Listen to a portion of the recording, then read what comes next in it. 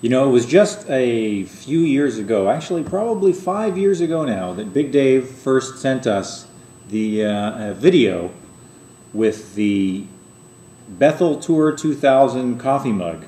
What am I doing this morning, boys? Well, I'm enjoying a lovely cup of black coffee in my Bethel Tour 2003 New York mug. That's right. From the Patterson, Brooklyn, Bethel, New York City Watchtower. Well, we actually, uh, Mama, Corey's mom, found something downstairs in the garbage slash moving slash recycling room that's actually both more practical and also more spiritual than the Bethel Tour coffee mug. What she found, thank you, Corey. I'm going to take center stage here to show off what might be the coolest thing ever found downstairs came in this unique little ribbon wrapped gift box, which you can imagine immediately caught Mama's eye. And when she opened this gift box, keep in mind she found this for free. This was just sitting down there, like someone gave it away. Like, I don't need this, I'm going to throw it out, but maybe I'll put it downstairs where someone can use it. So we open it up, and lo and behold, it's wrapped in, carefully wrapped in spongy, spongy plastic.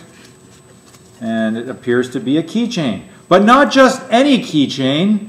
This keychain carries the unique and important embossment of the Iranian Christian Church, 740 East Arques Avenue, Sunnyvale, California, 94085.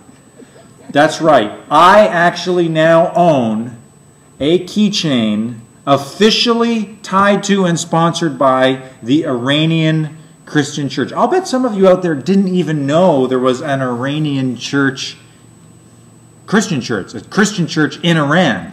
Thought they were all just Taliban or you know um, anti uh, anti Holocaust uh, idiots or whatever. But no, there's a Christian church, and apparently they're making keychains. So I've got one. It's a high quality keychain. This thing is you know this is this is a tool for life. So, oh, oh, and the important thing Corey's just pointing out to me here, if we look carefully at this box, we know it's high quality. Because if you look carefully at the box, you can see that it was made in China. That's right, made in China. So this is like, we're not just talking regular keychain, this is Walmart quality stuff, okay? So there you have it, Dave. Take your Bethel Tour 2000 coffee mug and you know where to shove it. Because I have a keychain I can carry with me every day, but I don't see you carrying your Bethel Tour 2000 keychain every day.